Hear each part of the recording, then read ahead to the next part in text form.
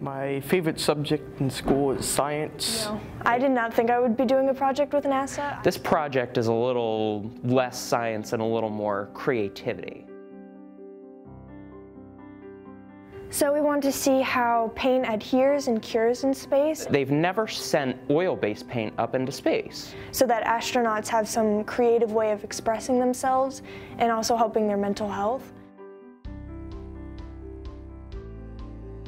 I am working with algae, the effect of microgravity on algae and lipid production. Algae make lipids, which is a fat, and if you can break down the cell wall of that fat, oil comes out. We hope to create a source of fuel, a biofuel, to make a cleaner alternative to fossil fuels.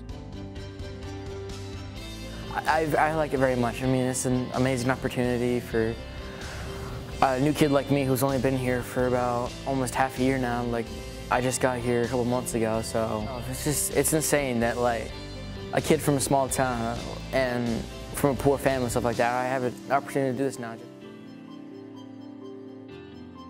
I think it would be really awesome to know that our project helped them help themselves and each other being able to actually use this art medium up on the ISS or and any space travel that they do. To know that we may have helped them would just be extraordinary.